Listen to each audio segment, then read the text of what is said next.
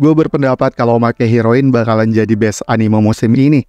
Jadi debut Sotaro Kitamura sebagai direktur, jujur gue nggak bisa komentar banyak, meskipun kita lihat dia namanya ada di anime-anime rating tinggi khususnya franchise dari Kaguya sama. Balik lagi beliau hanya berperan sebagai episode direktur yang masih harus nurut sama arahan direkturnya. Dan hal ini ngebuat Make Heroin bakalan jadi panggung resmi dari Sotaro Kitamura untuk menunjukkan kebolehannya. Disebut punya gaya directing mirip Makoto Shinkai, Sotaro Kitamura punya spesialisasi di bidang penggunaan cahaya. Lu bakalan dikasih tampilan cahaya yang beneran realistik, bisa kalian lihat di shot-shot di dalam ruang klub. Dan memang si Sotaro Kitamura ini jago dalam ngedirect scene interior. Dan biasanya, sebagai ganti dari penggunaan cahaya yang realistik, visual yang ditampilin kelihatan sedikit agak redup.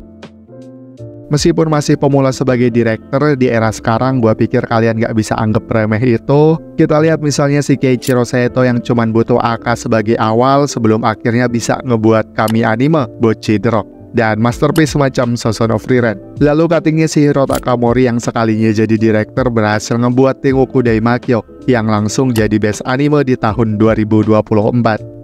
Dari tren itu jelas bukan hal yang nggak mungkin buat si Sotaro Kitamura untuk langsung ngebuat Make Heroin jadi best anime.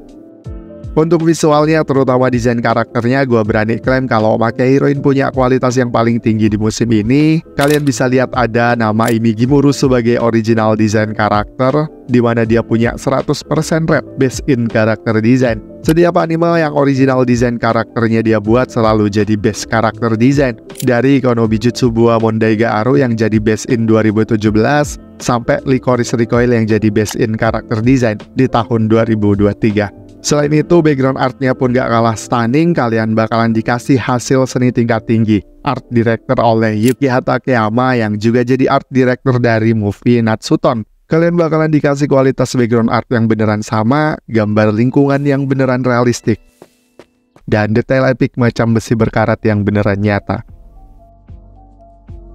Di studio sama Ewan Picture, gue balik ingat sama gimana epicnya kualitas animasi dari Shigatsu Kimi no Uso. Apalagi kalau kita lihat produsernya adalah si Aniplex yang terkenal selalu jor-joran masalah pendanaan. Storynya pun gak main-main karena Make Heroin berhasil dapat penghargaan dari Gagaga Bunko High School Light Novel yang artinya Make Heroin gak melulu ngebahas soal romance dan punya tempat yang sejajar lah sama Oregairo atau Chiramune. Ada lagi selain jago di lightning, si direktornya juga jago masalah ekspresi karakter.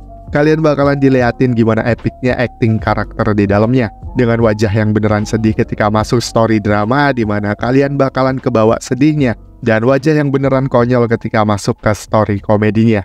Jadi jangan sampai nggak nonton. ではまた次回